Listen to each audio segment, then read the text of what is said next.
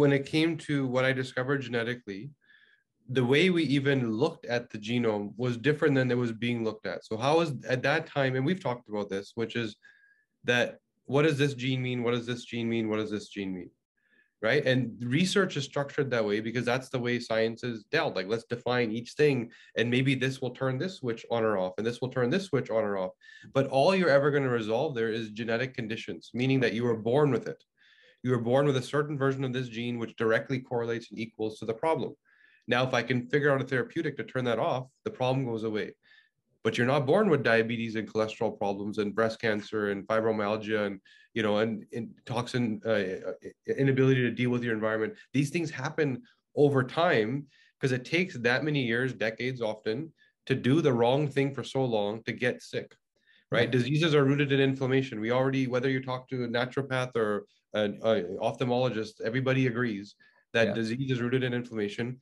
What we don't ask is what is inflammation rooted in? Why am I inflamed to begin with? You have inflammation, you're cellularly weak here, you're going to get that disease, right? Why did I get inflamed? Because what we're designed to do genetically, and I'll use myself an example to answer your question, we are not doing that. We're in the wrong context. Our food, our environment in a big way, which is, which is probably the, the silent killer that we don't see or experience. Uh, and then our lifestyle you know the way we exercise the way we sleep you know the way we move everything about how we live. So taking that as an example glutathionization I, I mean sure everyone here listening is somewhat familiar with glutathione and that process of i would think so. Yeah let's bind onto a toxin send it to the liver metabolize it. You drink some alcohol you need to get rid of it right? So your body does a good job of doing that. But what does good mean good means that we all do it but to what degree there's certain genes for which it's not just about a SNP. A SNP is that spelling mistake in a gene, which is you're looking for that variant. And if you have a certain version, it does this instead of that, or it doesn't do it so well. You tune the dial down a little bit. Mm-hmm. What if you don't even have the gene? Like, forget about the SNP or the spelling mistake. It's possible for a page to be torn out of your human instruction manual, completely missing. So you don't do that function. That's called a copy number variation, which most genetic testings testing companies don't test for because it's expensive. You have to whole, run a whole other test. There's something in between called an insertion or deletion, which is a paragraph is missing. So now if that SNP, that spelling mistake is so important that the ge genetic test you're paying for will tell you your list of SNPs, how much more important is it to know that a whole paragraph is missing? Or you have an extra paragraph. Right. Duplicating the instruction. Or a page is torn out, or you have an extra page duplicating the instruction.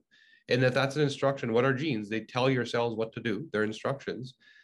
If you're either missing or have a duplicate version of the instruction, what's going on with biochemistry that's being instructed by these genes or not being instructed because you don't have them, right? That's what I found in myself that the key glutathione genes I didn't even have. Forget about what version, I didn't have them. So this is exactly why me sitting at my desk right next to my business partner, breathing in the same toxic load, I had to be driven home with migraines where I couldn't function he kept going and is still in that office today with no problem. Yeah. Right. The differences are what we were wired for, our capacity, then matched to our environment, which was either matched or mismatched, our ability to cope.